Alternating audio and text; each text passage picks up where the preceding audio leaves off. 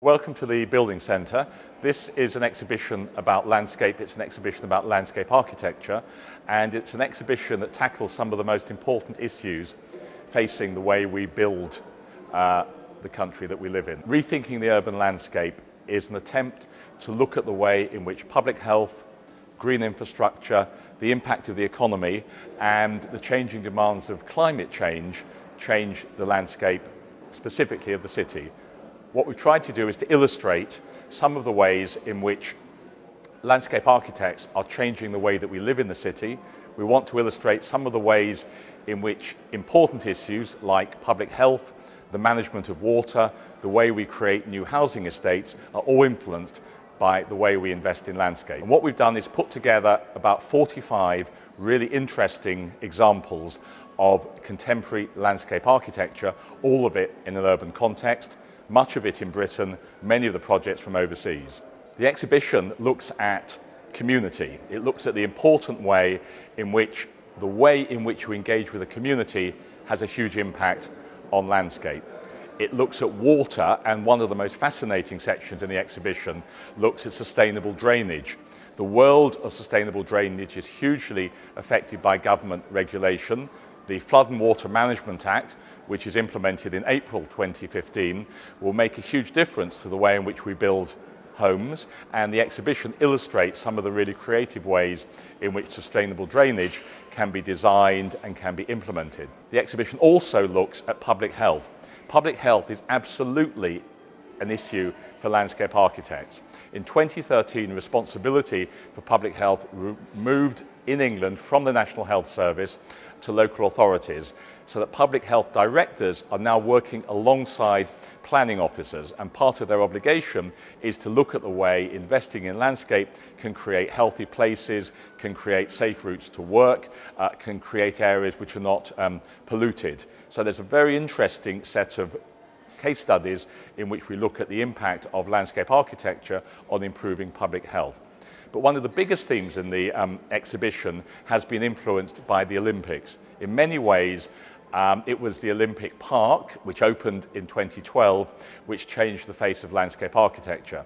The Architects Journal said in December 2012, landscape architecture has reinvented itself because of the Olympics. Um, the public became fascinated by the way um, the Olympic Park had been designed, by the use of wildflower meadows, and indeed by the way that the, the whole landscape of what had been one of the most derelict parts of London was totally transformed.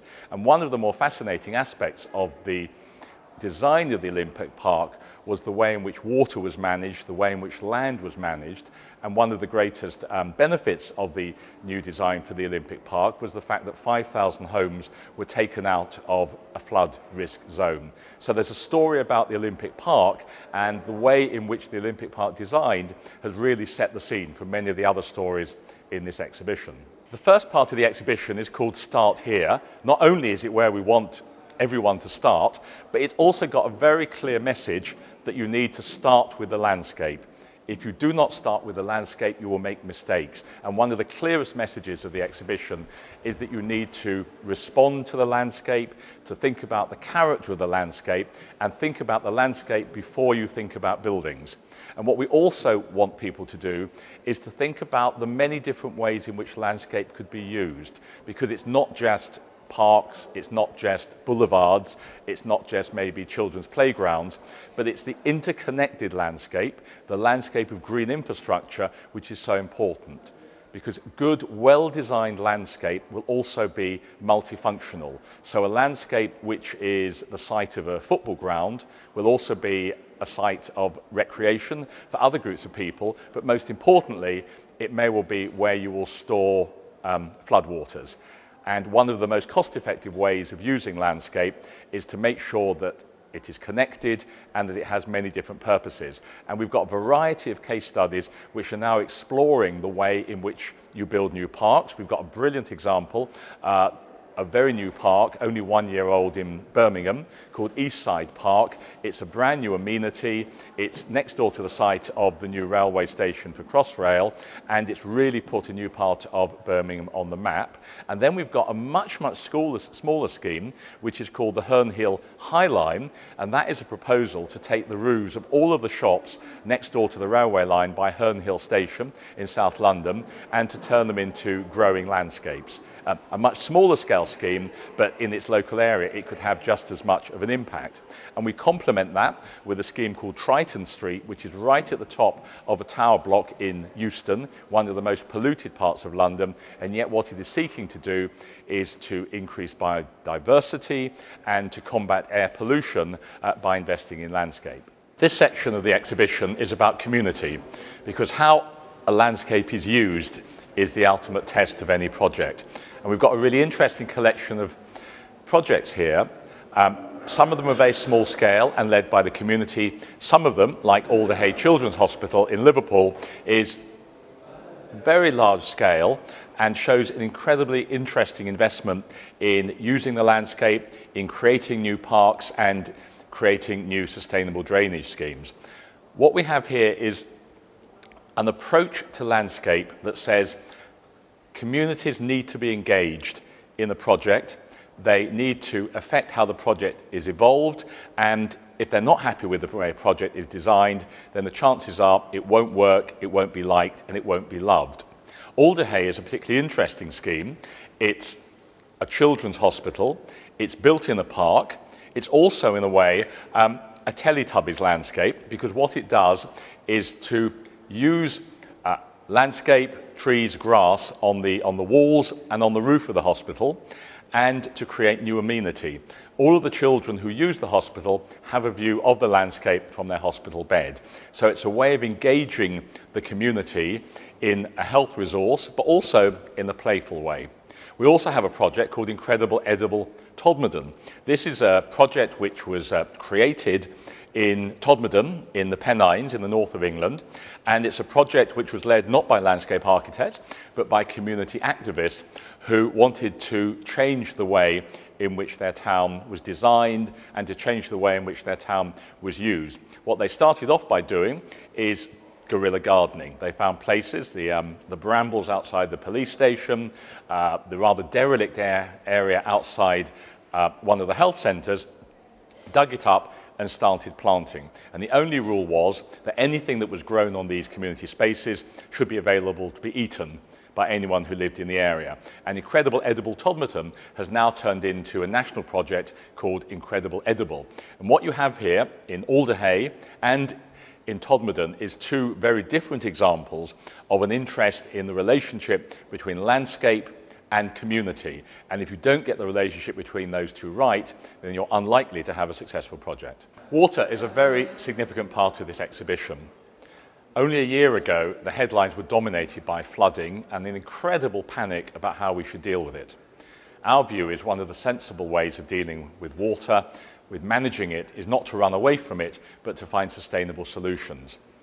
Sustainable urban drainage is one approach to making sure that when water lands on the ground, it disappears into the ground and is not unnecessarily piped to the other side of the city. We've got in the exhibition a group of excellent examples showing how sustainable drainage works in action.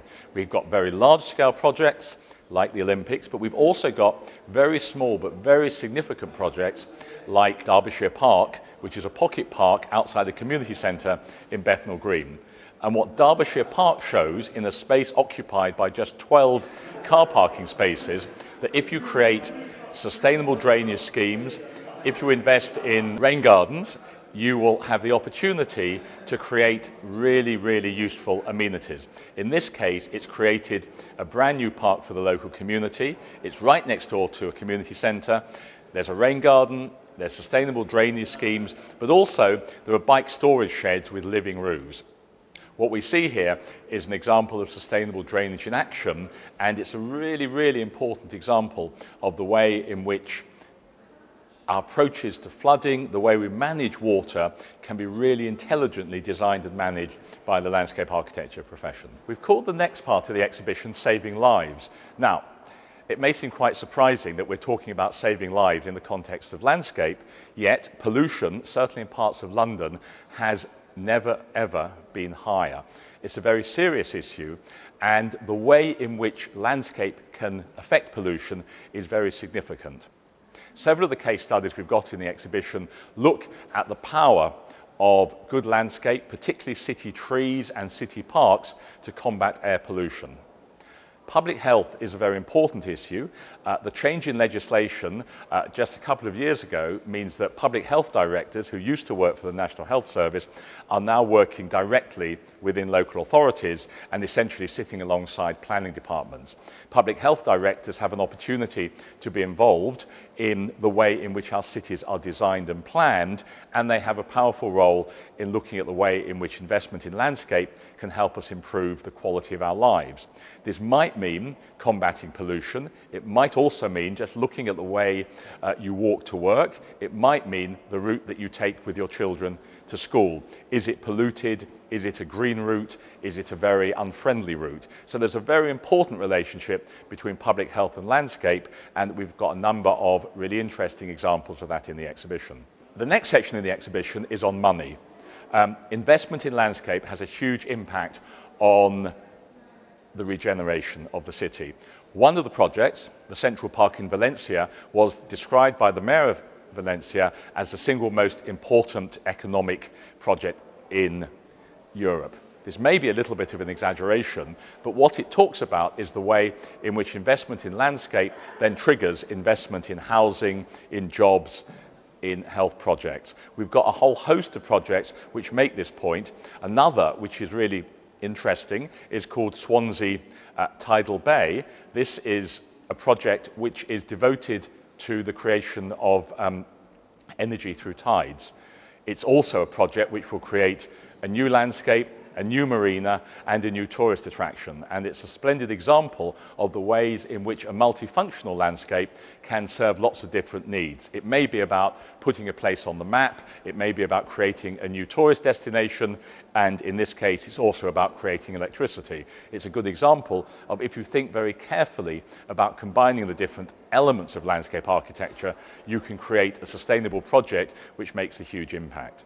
We have one section in the exhibition which is rather mysteriously called Orchestrate, but the title has been deliberately chosen to talk about the way in which a conductor of an orchestra brings together potentially conflicting and dissonant elements into one perfect symphony. And what we've tried to illustrate here is the power of landscape architecture to bring things together. And one of the most successful examples of things being elegantly and eloquently brought together is the Olympic Park. In many ways, the Olympic Park changed the face of landscape architecture when it was opened to the public in 2012. Many people were amazed by the flower meadows, by the way in which the River Lee had been completely rerouted, or they were just amazed by the fact it was a delightful place to spend an afternoon and view the Olympics. Since the Olympics, uh, completed, the park has been transformed and it's steadily moving from being a, a, showcase for an international sports festival to a community park for the East End of London. But with all of that, there has been this astonishing coordination, this orchestration, and this attempt to create something which is truly splendid. In many ways, the Olympic Park is not only at the heart but also the inspiration for this particular exhibition. The walls behind all of the individual projects are based on the flower meadows that became such a signature of the Olympic Park. And it's really testament to the power of the Olympic Park that we are now talking about landscape, I think, in the way that we didn't a couple of years ago. Beauty. It's a word that sometimes causes embarrassment, and often it's not a word that is used when evaluating landscape. And yet, what often makes a huge difference to our lives, either in our own back gardens or in our choice of where to spend our holidays, is whether or not a place is beautiful. So what we wanted to do in this exhibition was to talk about places which we think are beautiful. And we've chosen a number of projects which just explain, explore, and illustrate beauty in the landscape. One of the most sensational schemes um, is called Gardens by the Bay, and it's a very large-scale scheme in Singapore. A much, much smaller scheme, and which came out of the London Festival of Architecture, is Bankside um, Urban Forest, which brought horticulture and allotments uh, to the area just near Tate Modern, south, south of the river. And we wanted to stimulate a debate about what is beautiful and what isn't beautiful. This section of the exhibition also includes the Garden Bridge, designed by Thomas Heatherwick, and you've therefore got a really fascinating showcase. Um, walk across the bridge or go into the massive conservatories of the Gardens by the Bay in Singapore. From Beijing to Battersea Park, the potential of landscape to change people's lives is phenomenal. We've got examples in the exhibition of huge landscape schemes which are addressing pollution, creating new lakes, creating new amenities. We also have the brilliant example of the redevelopment of Battersea Power Station where a fabulous but very derelict building is now being recycled with green roofs, green walls and a completely new landscape. What we've also got in this section is the redevelopment of a number of 1960s estates. Many estates in London, and the ones we've chosen include the Aylesbury estate in Walworth and the Woodberry Down estate in East London, are undergoing a massive transformation. What's fascinating about that transformation is that buildings which used to ignore the landscape are being demolished and being replaced by buildings which sit comfortably in the landscape. For example, Woodberry Down Estate overlooks two reservoirs and a nature reserve. For half a century, the buildings have ignored them. The new development is absolutely addressing the nature reserve and turning that landscape into an amenity for all the residents in this part of London. From a pocket park in Bethnal Green to one of the largest projects in Beijing, this exhibition illustrates the depth and the breadth of landscape architecture. It illustrates some of the most far-reaching attempts to change the way we live in the city by rethinking the urban landscape. We have 45 projects which I think are a source of fascination and inspiration to all. All of them are available to view at the exhibition, but they're also available to view on the Building Centre website as a permanent testimony to some of the creativity that's gone into rethinking the landscape.